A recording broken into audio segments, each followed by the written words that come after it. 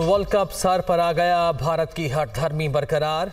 Pakistan cricket team को ताहाल भारतीय वीजे न मिले। कौमी क्रिकेट टीम की भारत रवानगी में सिर्फ़ दो दिन बाकी रह गए। भारतीय वजारत दाखिला की जानब से ताहाल पाकिस्तानी क्रिकेट टीम के वीज़ों के लिए एन ओ सी जारी नहीं किया गया।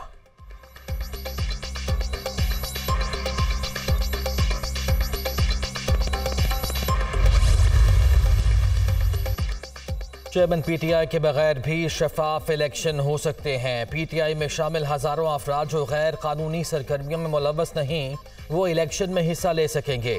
चीफ इलेक्शन कमिश्नर का तकर भी पीटीआई सरबराह ने किया था। हम किसी के खिलाफ ज़ाती इंतकाम पर अमल पैरा नहीं। अदलिया के फैसलों में मुदाखलत करूँगा, ना ही अदालतों को किसी सियासी मकसद के लिए इस्तेमाल होना चाहिए। फौज और विफाक हुकूमत के दरमियान ताल्लुक बहुत शफाफ है। निगरान वज़ीर अजम अनवारुल काकड़ का लंदन में गैर मुल्क खबर रसाई एजेंसी को इंटरव्यू।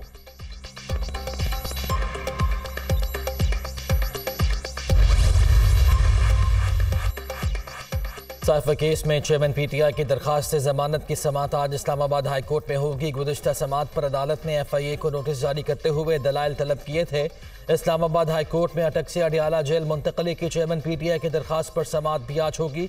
इस्लामाबाद हाई कोर्ट के चीफ जस्टिस आमिर फारूक दरखास्त पर समात करेंगे।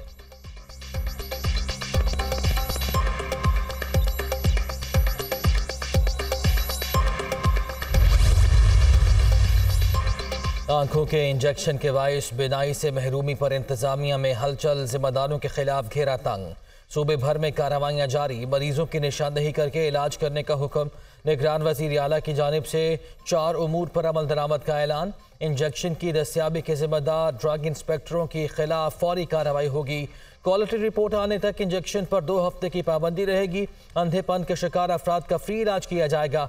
मामले की तहकीकत के लिए आला इख्तियारती कमेटी काम करेगी।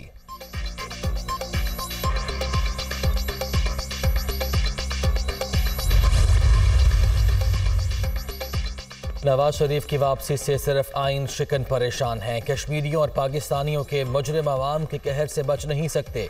नवाज़ शरीफ आवाम को महँगाई से निजात दिलाने आ रहे हैं। उन्होंने लोगों को हमेशा रिलीफ दिया है। मरियम नवाज़ का मुस्लिम लीग नून आज़ाद कश्मीर के अजलास से वीडियो लिंक के ज़रिए खिताब। नवाज़ शरीफ की इक्कीस अक्टूबर को वतन वापसी पर इस्तकबाल की तैयारियों पर मुशावरत।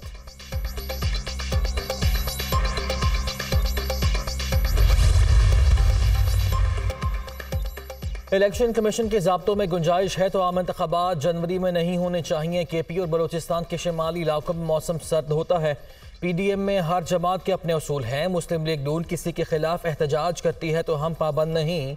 हमने कई जिम्मेदारियाँ अदा की, लेकिन कहीं हमारे भी पर जलते हैं। एहतसाब बिला तफरीक सबका होना चाहिए। जमीत इस्लाम के रहनुमा मौलाना अब्दुल गफूर हैदरी।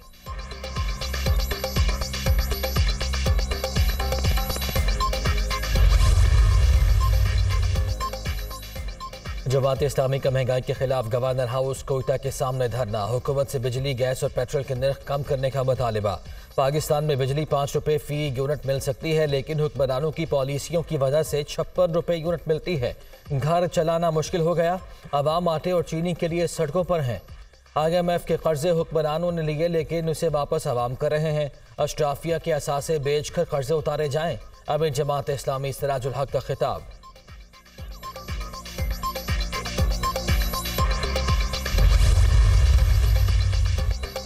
निगरान वज़ीर अला पंजाब मोहसिन नकवी ने लाहौर में बंद रोड एलिवेटेड प्रोजेक्ट के दो हिस्सों का संग बुनियाद रख दिया। पैकेज वन में न्याजी इंटरचेंज था सगिया इंटरचेंज, कॉरिडोर की तमीर होगी। लंबाई तीन अशारिया छः पाँच किलोमीटर होगी। पैकेज टू के तहत सगिया इंटरचेंज था बाबू साबू इंटरचेंज तक कॉरिडोर बनेगा। चार लेन पर मुश्तमिल दो रोया हाई राइज सड़क तमीर की जाएगी। निगरान वज़ीर अला की जानब से मनसूबे को मुकर मुद्दत में मुकम्मल करने की हिदायत।